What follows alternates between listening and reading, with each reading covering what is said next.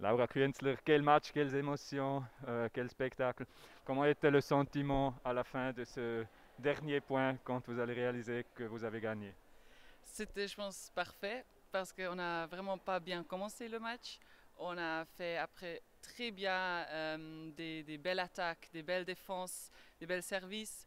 Et après, on était au jeu et on a vraiment joué bien. Et le fin, c'était seulement pour euh, relâcher tout. Et euh, ça, c'est le plus important euh, qu'à la fin, qu'on a gagné. Ouais. C'est 21 mois sans match avec l'équipe suisse depuis le dernier match à Bratislava. comment était le joie de pouvoir rejouer avec l'équipe suisse ce soir? Je pense qu'il était vraiment très très grand et pour ça, je pense au début, on n'était pas sûr, on n'a pas trop avoir avait le confiance pour vraiment faire ce qu'on voulait.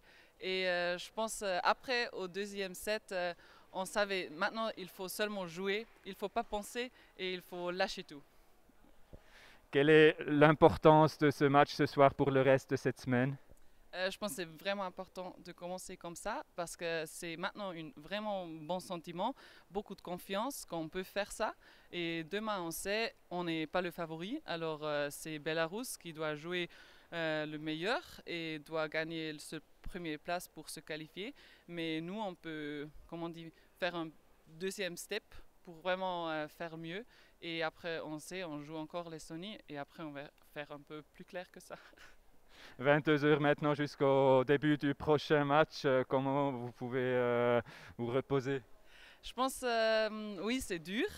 Aussi les 5-7 comme ça, mais on est bien avec Is qui fait une bonne, comment on dit, cool down. Et demain on mange bien et après on est prête.